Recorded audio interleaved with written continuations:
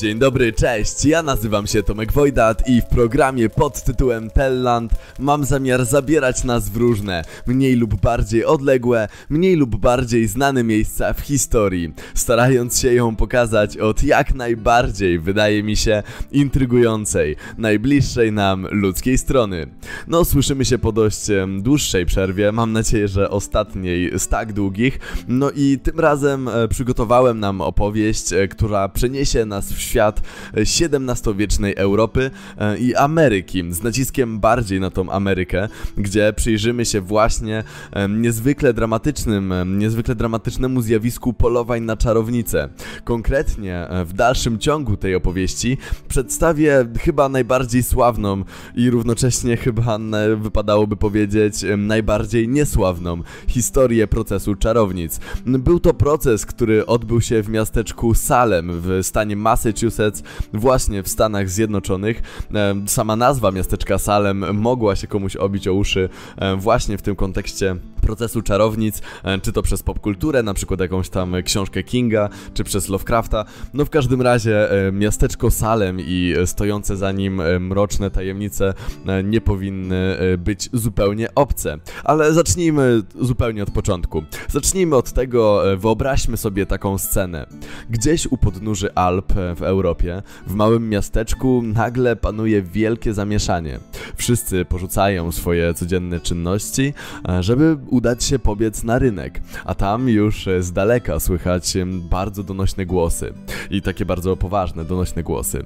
No i ten, te tłumy gapiów e, zbierają się wokół rynku, a przed kościołem grupa mężczyzn ubranych na czarno, e, w takich wysokich kapeluszach, mówi, a raczej wypadałoby powiedzieć, wykrzykuje właśnie wiele podniosłych, podniosłym tonem em, po prostu słowa do ludzi. Jeden z tych mężczyzn nagle otwiera grubą książkę, czyta na głos e, kilka zdań, a kolejny podchodzi, tym razem dzierżąc pochodnie w ręku, e, do ustawionego na środku rynku stosu gałęzi. No i na tym stosie gałęzi jeszcze jest e, przy, przytwierdzony wielki pal i do tego pala stoi właśnie kobieta przywiązana. No i nagle mężczyzna podkłada tą pochodnię, ogień bucha wielkim płomieniem, no i po chwili krzyków, jęków, jakichś przekleństw, nie na pewno szlochów, płaczu, w miasteczku znowu zapanowuje cisza. E, Wszyscy gapiowie powoli z powrotem się rozchodzą, wracają do swoich warsztatów, do swoich sklepów, domów i tak dalej. No i tym sposobem w płomieniach, jak gdyby nigdy nic, odeszła kolejna kobieta oskarżona o czary.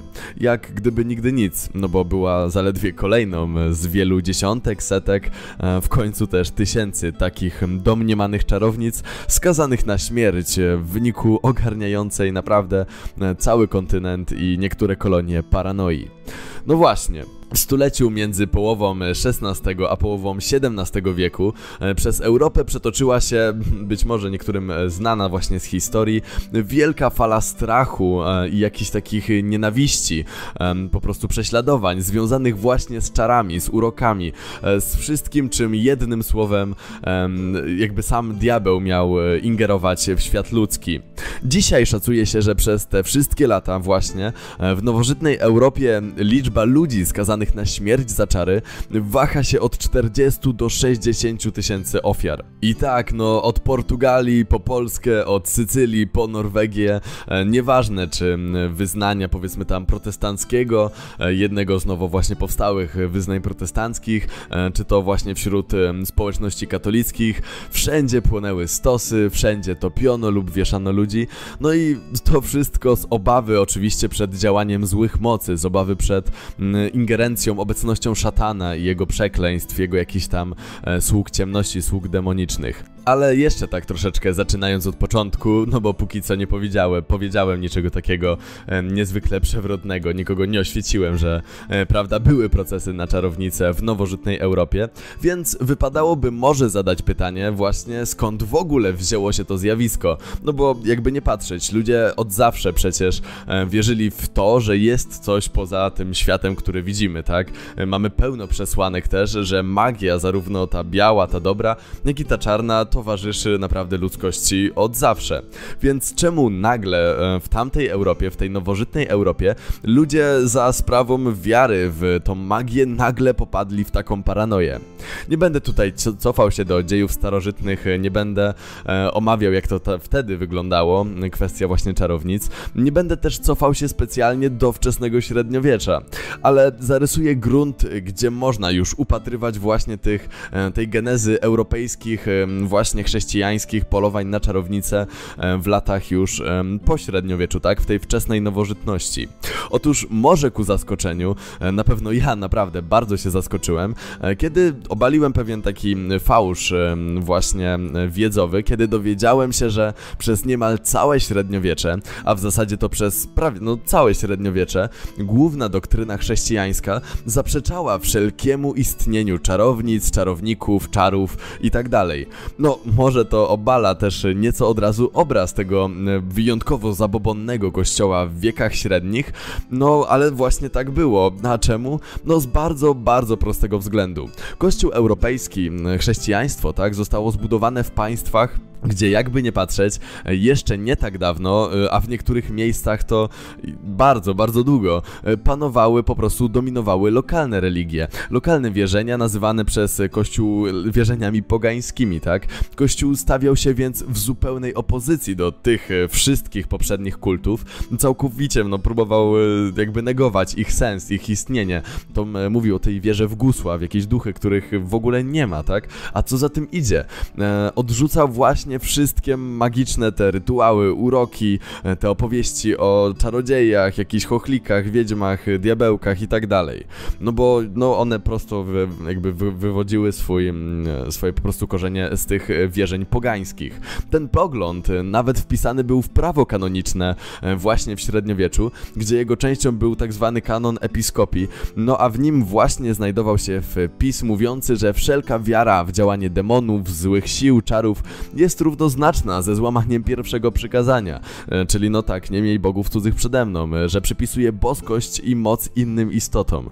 Istniały nawet instytucje takie jak, no chyba dość słynna inkwizycja kościelna, które ścigały właśnie takie e, przejawy bałwochwalstwa, takiego, takie przejawy po prostu wiary w te jakieś tam inne moce niż po prostu moc bolska, moc, moc Jezusa. Tym samym te wszystkie liczne sądy i siły kościelne, no z naciskiem na tą inkwizycję, które jakoś tak kojarzą się z tymi polowaniami na czarownice, e, w średniowieczu, owszem, e, miały za zadanie nawet fizycznie, tak, przemocowo walczyć z zagrożeniami chrześcijaństwa, ale tego to zagrożenia e, nie upatrywano wcale wtedy w czarownicach, czy właśnie w jakichś tam demonach, ale przede wszystkim w jak najbardziej ludzkich heretykach i sektach, którzy po prostu w grupach, które sprzeciwiały się po prostu oficjalnej doktrynie kościoła, które sprzeciwiały się najprościej to mówiąc papieżowi też wolę od razu zaznaczyć, że e, społeczeństwa europejskie w średniowieczu, obok tego co sobie tam mówił Kościół i papież, no jak najbardziej w większości wierzyły nadal w ponad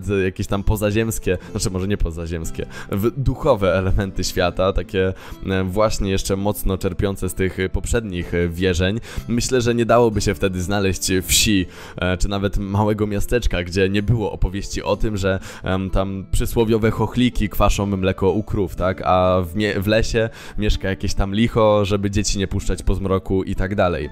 Ale wiadomo, no te wszystkie wierzenia właśnie wywodziły się e, prosto z tych przedchrześcijańskich korzeni. W większości w zasadzie jedyne co zmieniło się od czasów e, przed Chrystusem, to w cudzysłowie e, samo opakowanie, a role różnych duchów, zjaw, zmor, tych wróżek, tych wszystkich właśnie istot jakichś, no nieludzkich, tak, też niezwierzęcych, e, dla, jakby to opakowanie zmieniło się w taki sposób, że tamci ludzie, żeby nie sprzeciwiać się woli kościoła, nagle ubierali je w szaty diabła, tak, diabła wraz ze swoimi siłami piekielnymi, e, który po, powoli jakoś tak ujednolicał kulturowo ten cały świat wierzeń w czary, w różne magiczne istoty wśród społeczeństw Europy. No bo wcześniej rzecz jasna, jasna, nie było żadnego, nie wiem, ogólnoeuropejskiego wzorca e, co do tego, jak wyglądają czary, tak? Czym są demony, czym są potwory, wróżki, czarownice i, i tak dalej i tym podobne. No to było zupełnie różne, czy tu, czy tu mowa o jakichś korzeniach słowiańskich, germańskich, tu powiedzmy wierzono w taki wizerunek em, czarów, taki wizerunek wiedźmy, tu w inny. Dopiero ta wspólna chrześcijańska narracja mówiąca odnośnie tego, em, jak powinno się podchodzić do sfery, powiedzmy, czarów, właśnie magii, no dopiero jakoś powoli, powoli em, prawie upo upodobniała po prostu e, te światopoglądy z różnych części Europy. No i tutaj właśnie pojawia się postać czarownicy, która początkowo no również była zupełnie właśnie inna w zależności od miejsca, em, od zależności od ludzi, do jakich się trafiło, a już zaledwie chwilę później, em, powiedzmy po tym średniowieczu, e, w XVI wieku, w całym świecie chrześcijańskim za sprawą kościoła i za sprawą no różnych tam źródeł, o których zaraz jeszcze powiem, rozpowszechnił i utrwalił się jeden obraz czarownicy, czy czarownika. W ogóle jeden obraz y, też demonów, y, tych całych złych sił, czarów, y, całej sfery magicznej po prostu. I to był chyba ten najbardziej znany nam prawdopodobnie i do dzisiaj obraz.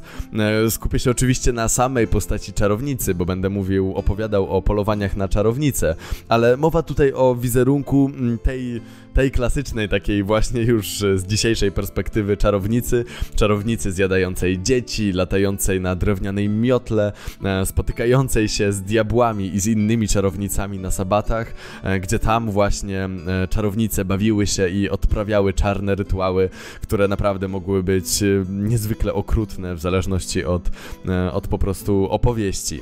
To obraz czarownicy, oczywiście kobiety, sprzedającej do tego swoją duszę diabłu, jak już sprzedającej to no nie będę nawet opowiadał, ale chyba każdy się domyśla. E, oczywiście czarownicy żyjącej na co dzień na uboczu społeczeństwa e, i najchętniej po prostu em, swoją magię wykorzystuje, wykorzystuje do e, uprzykrzania życia innym mieszkańcom. Rzuca uroki, no a oprócz tego jak ją rozpoznać? Oczywiście, no nosi się na czarno, e, w, oczywiście wokół jej domu krąży gdzieś tam czarny kot, no i e, co jakiś czas e, przywdziewa na głowę stary, zniszczony, okrągły, czarny kapelusz. Skąd więc w ogóle właśnie wziął się ten wizerunek wiedźmy e, i jakim sposobem e, wypchał on te stare, dawne... podejścia do czarów, do magii właśnie e, zakorzenione jeszcze w pogańskich, w pogańskich wierzeniach. No, jakby wiadomo, że powiedziałem, że to się odbyło za sprawą kościoła, ale jak i czemu? Już tłumaczę. Wszystko zaczęło się e, w tym e, wspomnianym wieku XV. Samego źródła tego e, wizerunku, tego obrazu czarownicy można doszukiwać się w takich tezach, w takich prawdach, które głosili podróżujący po całej Europie inkwizytorzy już, tak? Ci papiescy inkwizytorzy. Wówczas zbierali oni dopiero ludowe opowieści z różnych miejsc w Europie. Właśnie czy to były jakieś opowieści o korzeniach z plemion germańskich, czy celtyckich, czy e, słowiańskich, czy jeszcze wielu innych. Po prostu krążyli po całej Europie, brali te opowieści, m, szukali w nich oczywiście jakichś tam e, wspólnej, wspólnego podłoża, wspólnych elementów, mimo że Czasami oczywiście całkowicie wyrywali je z kontekstu i brali tylko te elementy, które nagle zagrały, tak? I następnie łączyli je z naukami kościoła i em, całym dorobkiem, e, który do tej pory jakoś opisywał właśnie em, wiedźmy i po, i po prostu zebrali całe podejście kościoła do tej pory e, do magii, do wiedźm. Tak dokumentowali, zbierali to wszystko e, do kupy, w jedne teksty, w jedne prace, no i tym sposobem powstał e, taki w miarę ogólny obraz czarownicy, taka powiedzmy esencja wszystkich punktów wspólnych z tych wszystkich opowieści. I pojawił się obraz czarownicy, oczywiście e, najbardziej zagrażającej codziennemu chrześcijańskiemu życiu. Za tekstami tych inkwizytorów m, pojawiły się kolejne grupy jakichś już teologów, e, innych duchownych, którzy tworzyli podręczniki nagle o demonologii, które po prostu powielały ten nowy wizerunek wiedźmy. E, Te prace trafiały do różnych kolejnych miejsc, właśnie do różnych kolejnych parafii, do różnych e, kolejnych e, duchownych, no a to już bezpośrednio trafiało do ludzi, no i nagle rozpowszechnił się nowy wizerunek właśnie czarownicy. I przy okazji mówienia o tych e, pierwszych pracach, tych pracach, które no jakby były jednym ze źródeł rozpoczęcia tych wszystkich polowań i tej całej paranoi związanej z wiedźmami, wypadałoby wspomnieć o dziele, które było zdecydowanie najbardziej wpływowym tekstem, który no już raz na do a dobrze utrwalił obraz świata, w którym to ludzie i Bóg toczą nieustanną walkę z tymi siłami ciemności, które oczywiście w naszym świecie roznoszą czarownice i czarownicy. Dzieło zostało opublikowane w 1487 roku, a mowa tutaj o książce pod tytułem Młot na czarownicę, z łaciny w oryginale Maleus Maleficarum, e, autorstwa Dominikana i inkwizytora Henrysia Kramera. Była to praca wydawana kilkunastokrotnie na przestrzeni e, wieku XV i XVI, no i idealnie zgrała się też z całym olbrzymim wydarzeniem, naprawdę wydarzeniem, e, które było kamieniem milowym, milowym w historii europejskiej, co za tym idzie w historii światowej, e, czyli reformacją. No, jakby bez mała, największym rozłamem i kryzysem chyba chrześcijaństwa w ogóle. Niektórzy pewnie by się spierali, mówiąc o podziale na tam wschód-zachód, prawosławie, e, katolicyzm, ale wydaje mi się, że reformacja i te odłamy protestanckie, no, były większym nawet rozłamem, który odmienił świat nie do poznania. Ale wracając do młotu na czarownicę. E, w swoim dziele Kramer, w ogóle to nazwisko Kramer jest takie e, naprawdę jak, no nie wiem, mam od razu przed oczami jakiegoś e, strasznego inkwizytora, jakie słyszę, ale nieważne, dygresja. Kramer przedstawił czarnoksięstwo w swoim dziele, oczywiście jako wielkie niebezpieczeństwo, niebezpieczeństwo, które powinno być bezprecedensowo ścigane przez nie tylko władze kościelne, ale przez władze świeckie. I to najlepiej karane najwyższą, najbardziej surową karą. No, czyli najlepiej śmiercią i to nie dość, że śmiercią, to jeszcze śmiercią w torturach.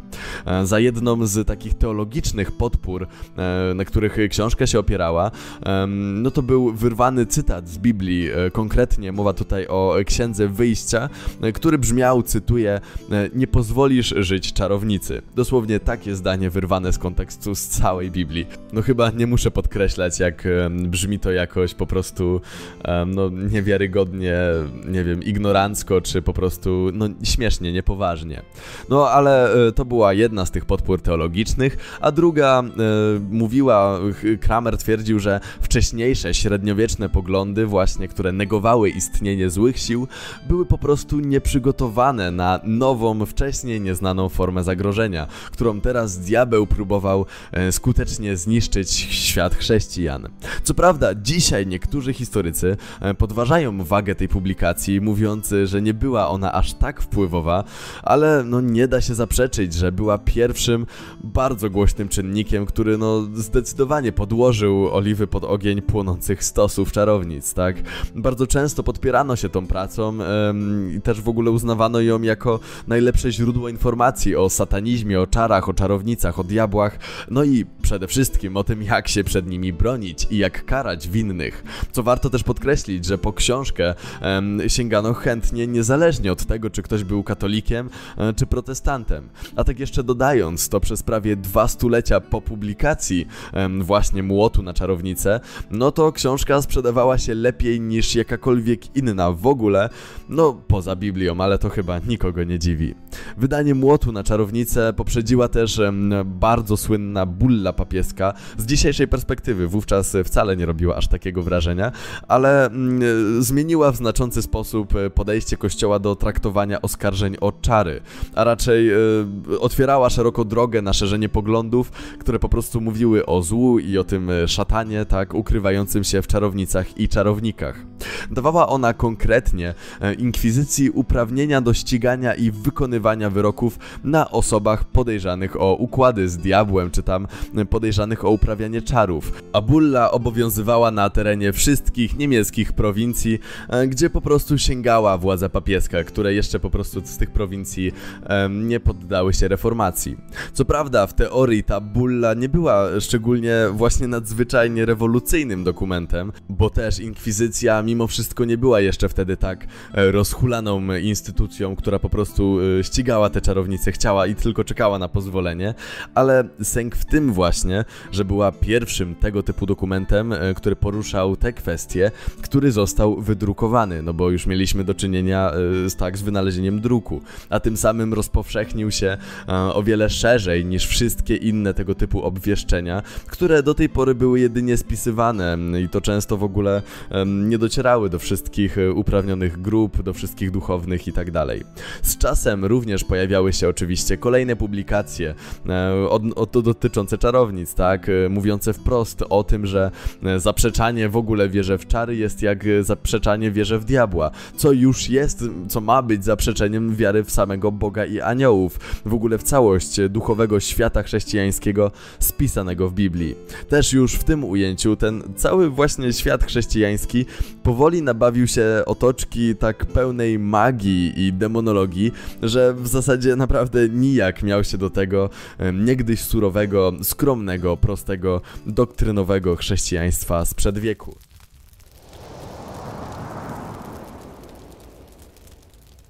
Wracając już do głównego nurtu naszej opowieści. Pojawiły się więc czary i czarownice w miarę uniwersalne, o w miarę uniwersalnych wizerunkach, aspektach dla niemal każdego miejsca w Europie. Więc tutaj, no istotne by było podkreślić, o jak w zasadzie ważnej zmianie tutaj mówimy. Gdy przecież już do tej pory i tak w każdym zakątku kontynentu pełno było znachorów, jakichś znachorek, zielarzy, guślarek, guślarzy, i innych osób, które byśmy nazwali tam europejskimi szamanami, tak? Czy których uroki, czary, rytuały e, na wsiach były czymś e, zupełnie normalnym, zupełnie spotykanym, a teraz również te wszystkie postacie, ich profesje, to czym się zajmowali właśnie wspomniane rytuały, w nowej narracji chrześcijańskiej nie były jedynie tam jakąś ślepą, szkodliwą wiarą w gusła, od której co najwyżej tam nie dostanie się zbawienia, tak? Do której nadal przysłowiowy ciemny lud ma uciekać, ale teraz wszyscy oni nagle stali się śmiertelnymi wrogami kościoła i ludzi. W tym wszystkim jednak nadal nie odpowiedziałem na bardzo ważne pytanie. Dokładniej, no skąd u duchownych e, takie działania, skąd u inkwizytorów takie działania? Czemu pojawiły się takie prace, jak e, no wspomniany młot na czarownicę? E, czemu Kościół nagle zmieniał swoje zdanie w tę stronę? Ale chyba co najważniejsze, co sprawiło, że naprawdę wśród zwykłych, szarych ludzi, czy u mieszczan, u chłopstwa, no wśród arystokracji również, tak, zapanowała paranoja związana z wyczuwaniem wszędzie ingerencji czarów i diabła. To wszystko miała, miało rzecz jasna swoje, no dość skomplikowane podłoże społeczno-gospodarczo-religijne. A najprościej to tłumacząc, przełom XVI i XVII wieku w Europie, jak i lata wcześniej i lata później, to naprawdę okres wielkich przemian w Europie. I to przemiany na każdej płaszczyźnie. Społeczeństwa wchodziły po prostu w nowy etap. Dzisiaj w historii historii no, nazywany nowożytnością. Wtedy to cały porządek świata, do tej pory trzymający się od tysiąca lat, zaczął gwałtownie się zmieniać. System feudalny, trzymający w ryzach klasy społeczne, trzymający wszystkich ludzi w hierarchii, zaczął słabnąć, ustępujący większym swobodom klasowym, ustępując na przykład praktykom kapitalistycznym, a co najważniejsze w tym wszystkim, e, też to tak bardzo jednolite do tej pory silne chrześcijaństwo, raczej konkretnie katolicyzm, no uległ największemu rozłamowi. Niepodważalne do tej pory autorytety papieża czy królów e, wybieranych z woli papieskiej, z woli boskiej, nagle te wszystkie autorytety załamały się. Europa podzieliła się na części uznające e, doktryny katolickie i Kościół katolicki oraz te, które podążyły za nowymi myślami protestanckimi. Mowa tutaj o naprawdę e, przełomie światopoglądowym, którego, no, który nam ciężko sobie uzmysłowić. To tak jakby nagle dzisiaj zwątpiono w część w ogóle jakiejś dziedziny nauki e, i powiedziano, że nie, ta nauka wygląda całkowicie inaczej i nie wiem, od dzisiaj nie wierzymy w atomy, tylko w to. W sensie, dobra, to było może zbyt odległe porównanie. Chodzi mi o sam fakt tego, że nagle e, światopogląd ludzi niektórych pękł zupełnie i autorytety, które do tej pory od tysiąca lat naprawdę trzymały swoją pieczę nad społeczeństwem, no załamały się. Tym przemianom, e, tak ważnym przemianom, tak istotnym przemianom towarzyszyły oczywiście no liczne i niezwykle krwawe wojny. Po raz pierwszy też na taką skalę odbywały się w głównie mierze wojny na tle właśnie religijnym i społecznym, a nie jedynie jako konflikty, tak, władców feudalnych, wielkich rodów, królów, arystokracji itd. Tak Nagle y, głównym jakby przeciwnikiem y, przestawali być źli władcy, źli królowie, tylko głównym, czy innowiercy, no już w najgorszym wypadku, tak, heretycy. Nagle um, głównymi y, oponentami, tak, przeciwnikami zaczynali być po prostu ludzie, którzy byli innej wiary, czy pochodzili z innego, z innego obszaru w Europie. Jakby ta nienawiść została skierowana z jednostek politycznych do mas. Do tego wszystkiego można jeszcze dodać to, że w połowie XVI wieku Europę dotknęła tak zwana mała epoka lodowcowa, gdzie no stopniowo z sezonu na sezon e, zimy bywały coraz bardziej mroźne, a doszło, aż doszło do momentu, e, kiedy wiele z mniejszych osad po prostu nie było w stanie przetrwać zimy. Nieurodzaj panował na wielkich połaciach terenu, no a co za tym idzie, skoro pojawia się taka zima i taki nieurodzaj, no to powszechny w wielu miejscach staje się głód. Te wszystkie wydarzenia zostały potem zwieńczone jednym z największych kryzysów, jakich doświadczyła Europa w historii w ogóle, naprawdę, biorąc pod uwagę nadal, e, powiedzmy, skalę II wojny światowej i tak dalej. Chodzi mi tutaj o serię konfliktów nazywanych e, w historii wojną trzydziestoletnią. Była to wojna między koalicjami e, katolickimi a protestanckimi, a te konflikty były z kolei no tak krwawe, tak dewastujące. Po tych konfliktach szerzyło się tak wiele plag, czy czy to chorób, czy głodu właśnie, że szacuje się, e, że cała ta wojna mogła zabrać do grobu nawet 20% populacji całego kontynentu. Dosłownie jedna na pięć osób w całej Europie umarła przez te wojny. No więc w tym świecie e, nie trudno sobie wyobrazić, że życie właśnie w takich realiach było u podstaw pełne strachu, pełne niepewności, paniki. Ludzie nie wiedzieli czego i kogo już słuchać, co zrobić, żeby po prostu spokojnie żyć. A takim przestraszonym społeczeństwem, do tego tak fundamentalnie religijnym, no manipulować czy po prostu inaczej, kierować nie jest zbyt trudno. Więc kiedy pojawiły się poglądy o tym, że za to wszystko złe, co dzieje się na świecie, za ten cały chaos, nieporządek odpowiada sam szatan, a nawet lepiej, nie do końca szatan odpowiada za to osobiście, bo Powiedzmy, że Bóg tak chroni nas przed jego bezpośrednią ingerencją, tylko szatan wykorzystuje em, do tego pośredników ukrytych wśród ludzi. Ludzi, którzy zgodzili się z nim na układ, na tajny pakt. To wszystko ówczesnemu społeczeństwu wydawało się naprawdę niezwykle prawdziwe i dawało ulgę, że to nie jest przecież ich wina, e, czy w ogóle wina ich władców, tylko wina zawsze kogoś innego, tych złych, w cudzysłowie tego złego. Tym samym czarownice pojawiły się jako nowy naturalny przeciwnik, który psuje chrześcijaństwo i jako nowy rozpowszechniony kozioł ofiarny. A do tego wszystkiego, żeby tak jeszcze lepiej e, oddać obraz, jak niespokojne, podejrzliwe, zastraszone było to społeczeństwo nowożytnej Europy, dodajmy to, że żeby zostać aresztowanym e, czy podejrzewanym o bycie czarownicą, e, czy tam czarownikiem, wystarczyło otrzymać taki zarzut od kogokolwiek. I to mógł być zarzut jakikolwiek. Naprawdę, wystarczyło głośno powiedzieć, głośno wyrazić swój zarzut, nawet tak urojony, że na przykład E, kiedy nagle komuś zmarła krowa z choroby, to taki ktoś mógł powiedzieć, że to mm, na pewno wina tego sąsiada, którego akurat, no w zasadzie to za bardzo nie lubił, że to on na pewno rzuca, rzuca jakieś czary, bo zresztą e, przecież widuje go jak czasem tam wieczorem wychodzi z domu, to wtedy na pewno wychodzi na spotkanie z samym Lucyferem. No i tyle. Resztą zajmowały się już władze. Prowadzono obserwacje w celu poszukiwania śladów takiego rzekomego używania czarnych mocy czy bratania się z diabłem. Na przykład e, szukano wyjątkowych znamion na ciele, które to miały niby e, oznaczać przybicie tego paktu, tak? E, To miała być taki symbol tej przysłowiowej czarciej łapki. A gdy po takiej obserwacji, takim znamieniu czy jakimś innym śladzie oskarżony zdawał się nagle coś ukrywać, to również pozostawało jedynie w ocenie władz. To jakby czy trafią na, na zeznania i na tortury, czy nie.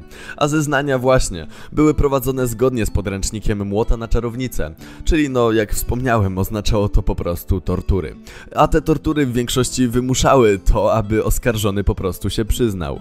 To, co działo się i tak po takim przyznaniu lub nieprzyznaniu się do winy przez oskarżonego, no już było pozostawione ponownie tylko do interpretacji lokalnych władz. To, czy ktoś, e, czy komuś odpuszczano, czy, czy po prostu jednak uznawano, że on jest zbyt groźny, czy ona właśnie na pozostawienie przy życiu, to wszystko zależało od e, humoru i po prostu tej jednej decyzji e, władz, które, które przeprowadzały te, ten, te samosądy. Czasami oczywiście też ktoś umierał podczas tych tortów, e, tortur, gdy, kiedy przegięto, ale to również pozostawało wolne do interpretacji, no bo mogło to przecież oznaczać karę boską i praworządność nad czarownicą, no ale czasem mogło to po prostu świadczyć o pomyłce i skazaniu niewinnej osoby na śmierć. Czasem ktoś, kto przyznał się do winy, mógł wykupić się na przykład wskazaniem na inną czarownicę, no i tym samym szerzył dalej paranoję oskarżeń, ale przez to, że wskazał em, na współwinnych, to on sam d- dostawał taką taryfę ulgową, że e, prawda, tak, odpuszczamy ci, przyznałeś się, ale następna taka sytuacja, no i wiadomo, różnie się to skończy. Ale czasem i tak, niezależnie od prób wykupienia się, i tak różne osoby trafiały prosto na stos. A jeszcze czasami wystarczyło na przykład wygnanie lub chłosta. Tak właśnie wyglądały te procesy, które w zasadzie no, były samosądami lokalnych władz, o których powadze i profesjonalności z dzisiejszego punktu widzenia najlepiej świadczy to, że najważniejszym głosem w tych wszystkich sądach, najważniejszymi oskarżeniami były oskarżenia i głosy po prostu e, obierane przez dzieci. No bo dzieci uważano jako najbardziej e, czyste, najbardziej niewinne z ludzkich istnień, no bo przecież to tylko dzieci, które co najwyżej tam e, przewinęły sobie grzechem pierworodnym przy urodzeniu, ale jeszcze nie były zniszczone, prawda, dorosłym życiem. Więc tak, jeżeli dziecku, a wiadomo jak dzieci potrafią być w cudzysłowie wredne, czy jakie potrafią mieć humorki, no wystarczyło, że nagle wskazały na kogoś i ktoś tracił życie. Tak więc mam nadzieję, że całym tym wprowadzeniem stworzyłem bardzo jasny obraz ówczesnej Europy, ogarniętej tą manią polowań na wiedźmy. Chciałbym natomiast przenieść się jeszcze kawałek dalej, bo w tym samym czasie za Atlantykiem, w nowych pierwszych koloniach w Ameryce, wielkie polowania na czarownice również miały miejsce, a wśród nich odbył się chyba już ten najsławniejszy, chociaż właśnie raczej powinno się powiedzieć, no najbardziej niesławny, proces na czarownicę we wsi i miasteczku Salem w zatoce Massachusetts.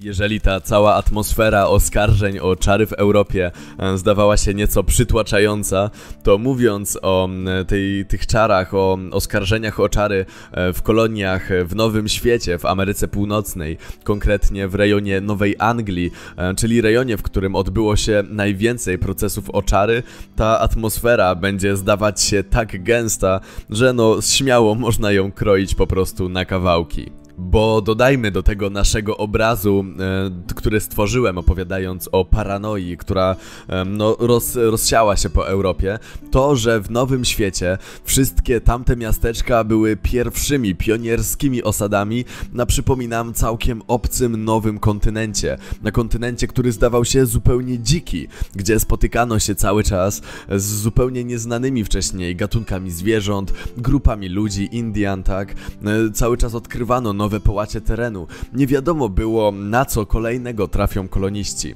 Gdzie osady potrafiły być, osady jakby kolonizatorów, Europejczyków, potrafiły być odizolowane od innych miast na setki czy dziesiątki kilometrów. Gdzie czasem jedyne co potrafiło dzielić jedno miasteczko od drugiego, to bardzo gęsty i bardzo niepoznany las, niełatwy w przebyciu, w którym można było zgubić się w przeciągu chwili, gdzie zboczenie z jednej, tej dość niedawno wydeptanej ścieżki przez jakieś tam szlaki kupieckie oznaczało często w ogóle brak możliwości powrotu. Gdzie nowe osiedla kolonizatorów mogły pojawiać się i znikać. No znikać, czemu znikać? Czasami po prostu ziemia się okazywała nieurodzajna i wszyscy przetransportowywali się tak w inne miejsce, ale niekoniecznie były, szły do tym informacje do innych pobliskich miasteczek. Czasami znikały za sprawą ataków miejscowej ludności, e, za sprawą, prawda, ataków Indian, czy za sprawą ataków podczas wojen z Francuzami. I jakby te całe właśnie osady potrafiły znikać, czy się pojawiać obok gdzieś nieświadomych dalej kilometry sąsiadów. W takich warunkach zdaje się, jakby paranoja była czymś, co, czym, co musiało ogarnąć tamte społeczności. A mówiąc już o samym miejscu naszej akcji, o samym Salem, miasteczku Salem, czy też wsi Salem, bo to będą e, dwa osobne twory, to warto byłoby cofnąć się do początków, do samego w ogóle pierwszego założenia osady okrzykniętej Salem. Otóż początki całego stanu w zasadzie, całej kolonii w zatoce Massachusetts wiąże się z przybyciem do Ameryki tak zwanej społeczności Purytanów. Purytanie pochodzili z zachodniej Anglii, akurat tamci, a konkretnie e, przybyło 119 właśnie takich purytańskich kupców, e, rolników i kleryków, którzy założyli miasteczko na terenie dzisiejszego Salem. No i wiem, wypadałoby wyjaśnić, kim są ci, kim byli w zasadzie Purytanie. Bo też ta grupa jest tak specyficzna i tak nadaje ton i klimat całej tej opowieści, że no po prostu muszę, muszę i przedstawić ich w kilku słowach. Otóż Purytanie byli odłamem kościoła anglikańskiego, byli zgromadzeniem, jakby zgrupowaniem raczej religijnym. E, to był odłam kościoła anglikańskiego, który nadal upatrywał e, w kościele anglikańskim zbędny nakład tradycji i takiego przepychu, bałwochwalstwa, które było powszechne w katolicyzmie. Czemu bałwochwalstwa? No kulty świętych, odpusty, relikwie, kult Maryi, nazbyt y, bogate i właśnie pełne przepychu, czy ozdabianie kościołów, czy innych miejsc religijnych. Postrzegali oni kościół anglikański też nadal jako zbyt bliski temu zepsutemu katolicyzmowi, też pełnemu właśnie takiej biurokracji i korupcji, e, niczym wśród księży i duchownych po prostu niczym wśród urzędników.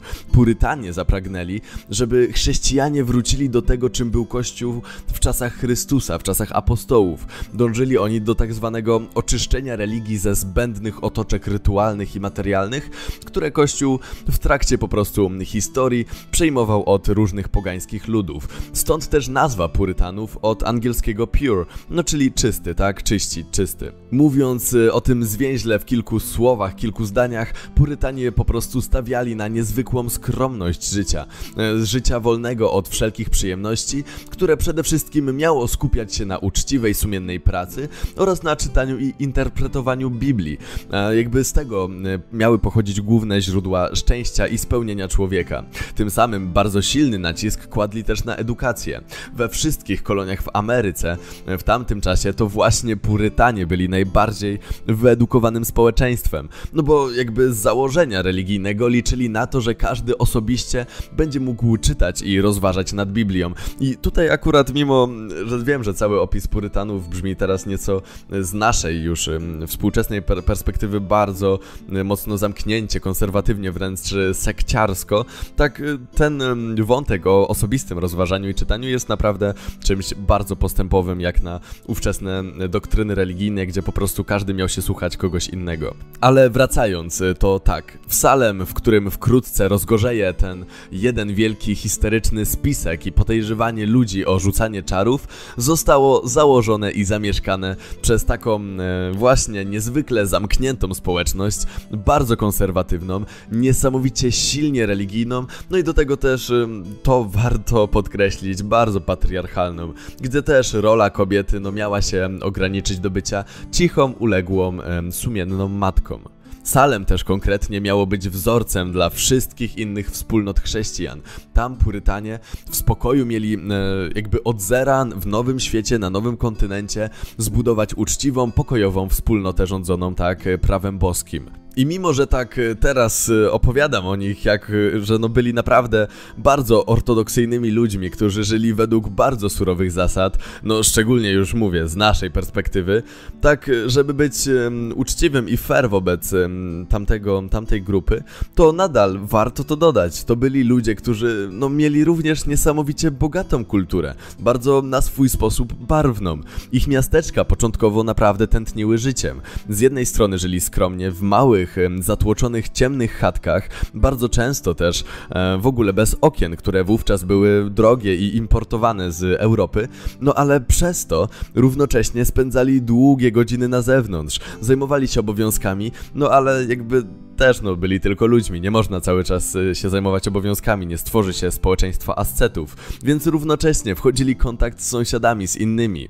Zdarzało im się właśnie nawet umiarkowanie pić alkohol e, poza postem. Bardzo często e, jakby przesiadywali czas, spędzali czas w karczmach, w których no właśnie niekoniecznie upijali się, ale dyskutowali, plotkowali, rozmawiali, spożywali też towarzyskie po prostu posiłki w tawernach. Ale to tylko początkowe opis taki um, bardzo z założenia, kim byli właśnie Purytanie, w jakim miejscu zostało założone Salem.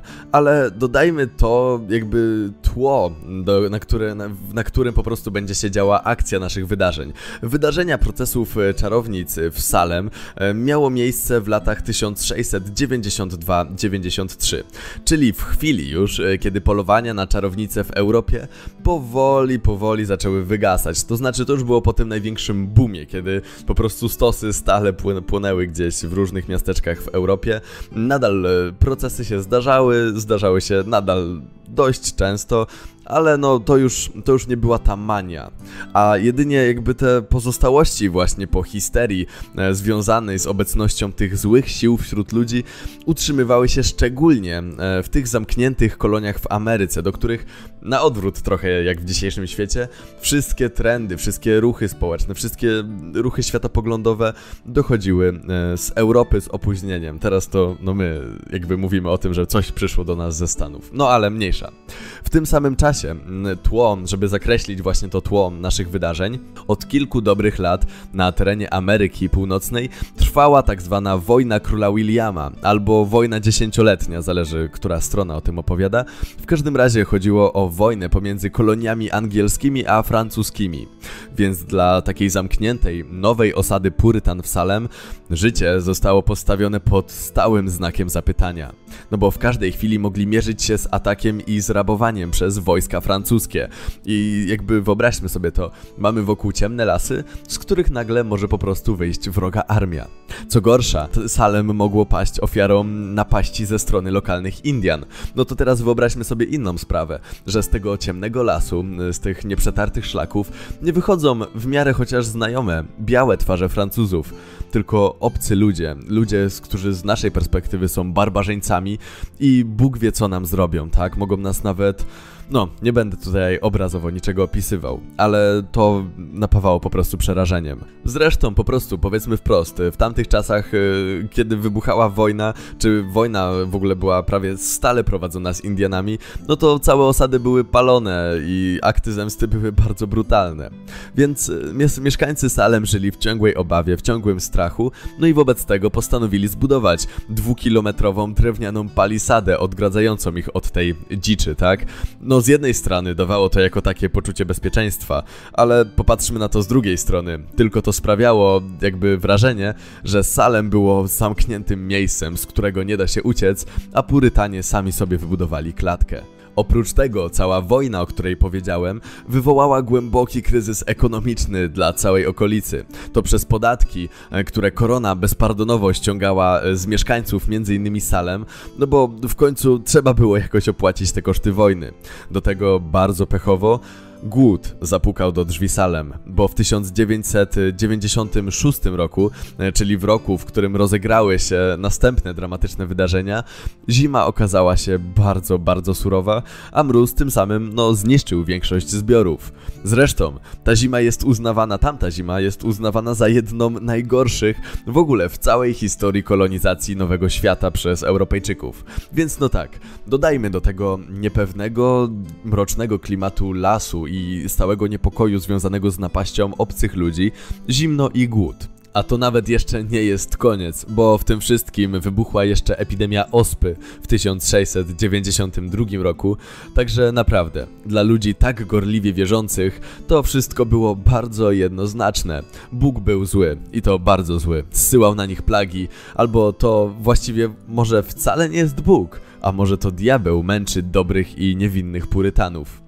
Ale zanim jeszcze przejdę do samej opowieści o tych niechlubnych procesach o czary, e, to warte przytoczenia jest jeszcze niezwykle ważne podłoże społeczno-ekonomiczne miasteczka, które również bardzo przyczyniło się w ukryty sposób do tego dramatycznego wydarzenia. No bo tak, my najchętniej patrzymy na wydarzenia historyczne e, z górnej perspektywy, czyli tak, procesy o czarownicę, no to na pewno chodziło o e, światopogląd religijny. Ludzie, ludzie się mordowali po prostu dlatego, że tak nagle uznali. No otóż nie. E, historia jest bardzo skomplikowana, bardziej niż e, takie proste fakty, więc zajrzyjmy w głąb tego, co stało za tymi procesami w Salem jeszcze. Otóż mówiąc o Salem w tamtym okresie, będziemy mieć na myśli konkretnie dwa miejsca. Chodzi o to, że pierwotnie zostało założone miasteczko Salem u samej linii brzegowej, gdzie Purytanie bardzo szybko stworzyli ważny i dobrze prosperujący przystanek handlowy, a zaraz obok tego miasteczka Salem powstała wieś, również nazwana Salem. Wieś pierwotnie podlegała miasteczku, no ale już tam po czasie skutecznie upominała się o niezależność. I właśnie tutaj pojawia się drugie, niezwykle istotne podłoże konfliktu. Otóż część purytanów ze wsi Salem nie miała zamiaru odcinać się od tego kwitnącego i obrastającego zyskiem miasta.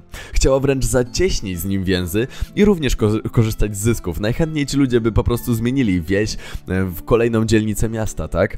Natomiast ta bardziej konserwatywna część purytanów, która e, wierzyła w to, że poprawną drogą życia jest życie komunalne, e, życie jakby skromne, w prosty sposób, życie bez wielkich zysków i przede wszystkim życie w izolacji, w zamknięciu na obcych, chciała całkowicie się odciąć i stworzyć osobne, własne miasteczko. Przypominam też, że purytanie byli w większości e, klasą społeczną, która wywodziła się no, z niezamożnych warstw, no i oni z założenia chcieli uciec od tego arystokratycznego przepychu i ucisku. To jednak jeszcze nie jest koniec. Konflikt, rzecz jasna, idzie w tym jeszcze głębiej. Bo jak wiadomo, mówię tutaj o historii, a historia to nie są jakieś niestworzone wydarzenia, a opowieści po prostu wielu, wielu różnych ludzi. Także na to całe tło należy nałożyć jeszcze osobiste historie i osobiste konflikty różnych mieszkańców Salem. A tu pojawiają się już no bardzo liczne spory między na przykład właścicielami ziemi, e, między ludźmi, e, którzy kłócą się o swoje prawa do posiadania ziemi, Pojawiają się konflikty rodzinne, konflikty majątkowe, sprzeczki sąsiedzkie itd. Tak Innymi słowy, w toku tych sporów i sprzeczek wioska zaczyna się zamykać. Każdy widzi powoli w każdym wroga, nieufność wisi w powietrzu, każdemu zależy już powoli na tylko własnym zysku, każdy popada w konflikt i izolację względem reszty wioski. W tym momencie chyba już nie muszę podkreślać, jak strach przed obcym, jak strach przed złym łatwo kieruje się na kogoś z własnego grona. Jak też nie trudno się domyślić, pierwsze oskarżenia padły na tych członków, którzy okazali się największymi wyrzutkami z, całego, z całej społeczności ówczesnego Salem.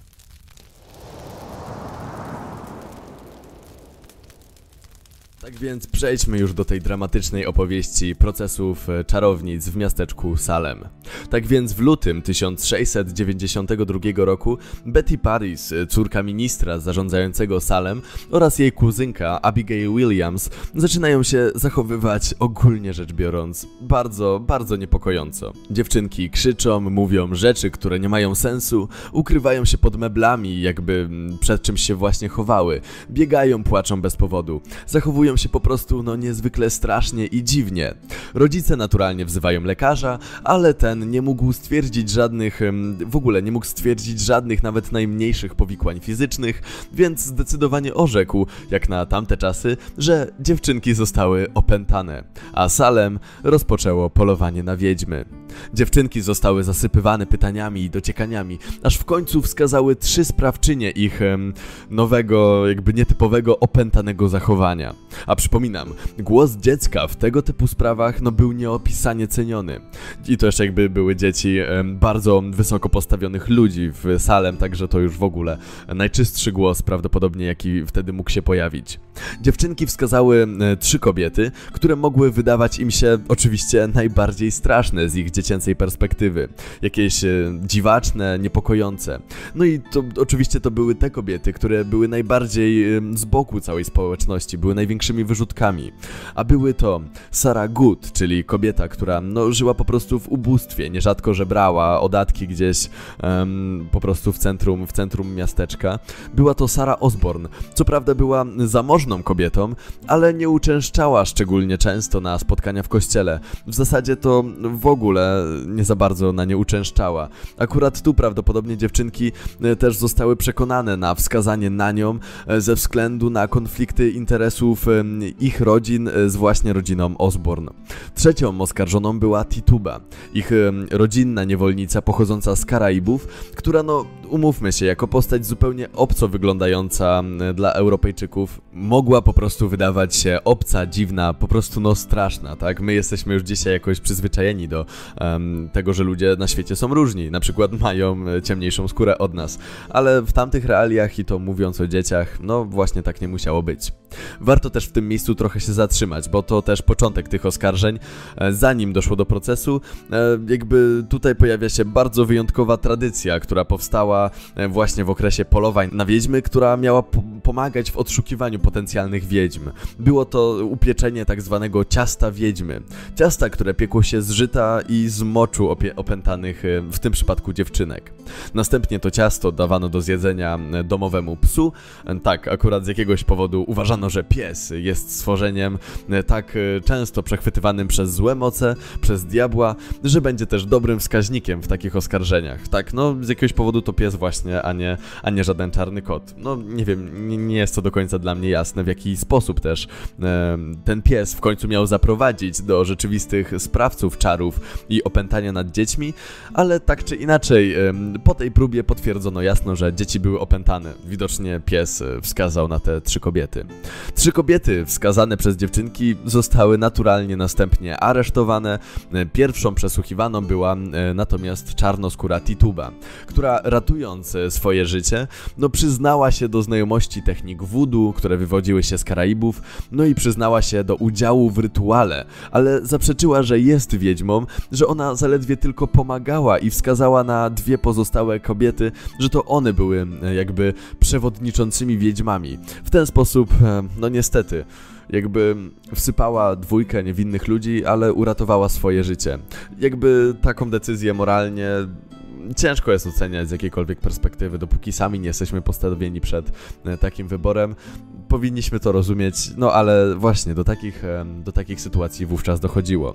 A gdy tylko ten proces ruszył, tych proces kolejnych dwóch kobiet, no to jak lawina w całej wsi, w całym miasteczku Salem pojawiły się to kolejne, niby to zaczarowane, opętane dzieci, kolejni ludzie wskazywali na kolejne wiedźmy, pojawiały się kolejne oskarżenia, oszczerstwa, kolejne spiski i układy. No i co tu dużo mówić, całe Salem ogarnęła histeria.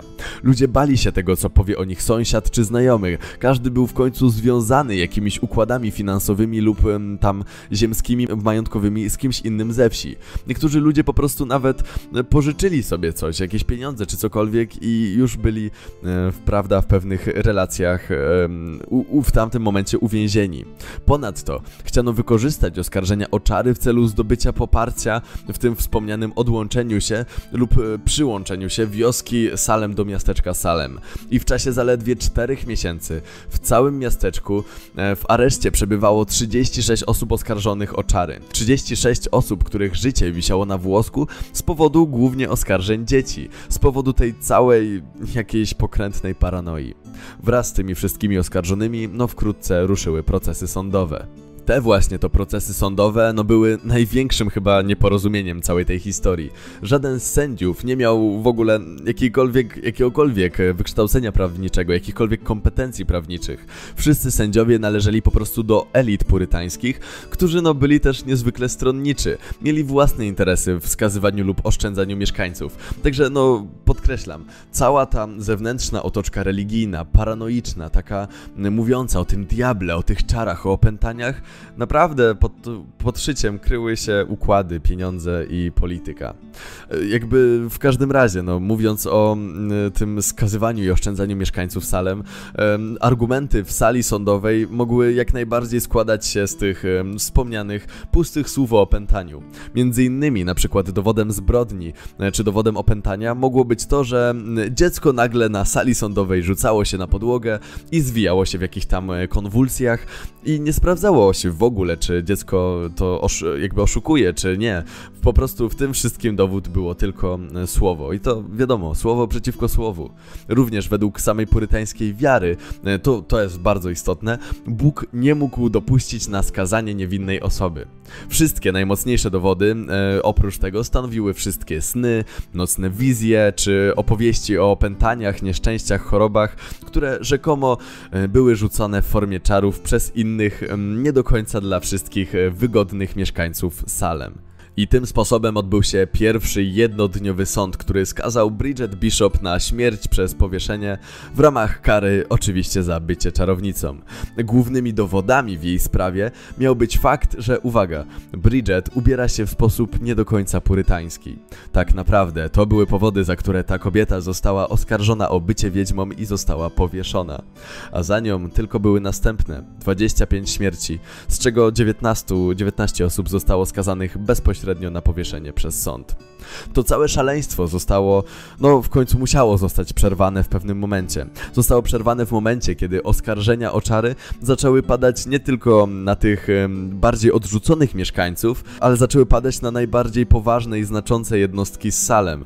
To jakby nagle najbardziej wpływowi ludzie zaczęli stawać się ofiarami tych samosądów, gdzie nawet został stracony były angielski zarządca Salem. No i w tym momencie hipokryzja sędziów osiągnęła szczyt, kiedy to na, na przykład twierdzono, że diabeł czasami pojawia się pod postacią najjaśniejszego anioła, e, kiedy no oczywiście na sali sądowej nagle e, czyjaś niewinność zdawała się oczywista. Tłumaczono się czymś takim, że tak, diabeł się pojawi pod postacią owcy. Albo na przykład, e, kiedy ktoś modlił się na szubienicy, jakby już został skazany za bycie czarownicą, ma pętlę założoną na szyi, no wiadomo, jako osoba religijna zaczyna się modlić, a jakby doktryny, które mówią o, jakby, którymi się kierowano w procesach o czarownicę, y, uznawały, że niemożliwe jest, żeby czarownica mogła się modlić. I więc, a mimo to takie osoby wieszano, więc hipokryzja osiągała wtedy naprawdę szczyty. Jednak ten obłęd w końcu się skończył. Ostatecznie w całej sprawie Salem przyjrzał się sąd spoza miasteczka, a oskarżonych, którzy nadal pozostawali w areszcie, w końcu uwolniono. Ale tak nawiasem mówiąc, to rodziny zmarłych wcale nie otrzymały zbytnio żadnych rekompensat. W każdym razie, Salem było ostatnim tak dużym wybuchem procesów o czary w nowym i w starym świecie równocześnie. Co prawda, nadal zdarzały się egzekucje i to dość liczne. Tak do końca XVIII wieku to w całej Europie wraz z nastaniem epoki oświecenia uprawianie czarów przestało być prawnym przestępstwem. Mimo to, nawet jeszcze w XIX wieku zdarzały się prawne przypadki, kiedy ktoś został skazany, no nie tak bezpośrednio, ale pod innym zarzutem na śmierć za czary. Ostatnim takim prawnie zalegalizowanym procesem o czary, który jakby został przeprowadzony przez oficjalny sąd państwowy, który skończył się spaleniem na stosie w Europie, był proces w Prusach w XIX wieku. A w zasadzie to mówię o tym, bo należałoby powiedzieć, że to były porozbiorowe tereny Polski. Był to proces kobiety o rodzimie brzmiącym nazwisku Barbary Zdunk która to spłonęła za rzekome podpalenie czarami miasteczka. Jej wyrok zatwierdził natomiast sam król pruski, ale to już były ostatnie echa tej okrutnej epoki. Cały ten incydent w Salem, e, w sumie całość polowań na czarownicę, stanowią dzisiaj dla nas e, z historii wiele lekcji. Można wyciągnąć z tego wiele wniosków, ale chyba przede wszystkim pokazują to, jak łatwo pojawiają się takie oskarżenia, takie obwinianie, takie znajdowanie kozła ofiarnego. Jak pojawia się ślepa wiara w całkowicie nowe, okrutne i radykalne pomysły, gdy ludzie po prostu są zastraszeni, zmęczeni, bezradni i nie mają dostępu do po prostu informacji. Jak łatwo jest wzbudzać ludzką nienawiść, lęk. No i jak zawsze, autorytet władzy, autorytet sądowy, jakikolwiek autorytet powinien być co jakiś czas kwestionowany. W zasadzie powinniśmy mieć go non-stop na oku i nigdy nie powinno się mu zupełnie ślepo wierzyć. Szczególnie kiedy ubiera swoją narrację tak, że przedstawia ją jakby była od zawsze. Jakby wiedźmy były od zawsze i od zawsze z nimi walczymy, bo przecież diabeł od początku świata od zawsze próbował próbował, prawda, położyć swoją ciemną e, łapę z pazurami na dobrym świecie ludzkich e, chrześcijan, tak? I jeszcze tak, w sumie korzystając z chwili, chciałem dodać pewnie pewną intrygującą informację. Natomiast, em, tak, dzisiejsze amerykańskie Salem, no nadal jest miastem, e, nie zniknęło z mapy świata. Em, no i jakby w historię tej proces, tych procesów oczary, e, tych procesów czarownic, e, dzisiaj w Salem wykorzystuje się wzdłuż i wszerz w sposób typowo amerykański, w sposób no typowo komercyjny. Salem jest reklamowane turystycznie jako miasto czarownic. Wszystkie wszystkie historyczne zabytki Salem e, stanowią atrakcję na szlaku historycznym. E, no wiadomo, szlak historyczny obejmuje wszystkie ważniejsze punkty tych niesławnych procesów. No i to akurat rozumiem, tak? To są niezwykłe e, obiekty. Sam bym chętnie udał się do Massachusetts, zobaczył te, te wszystkie obiekty historyczne.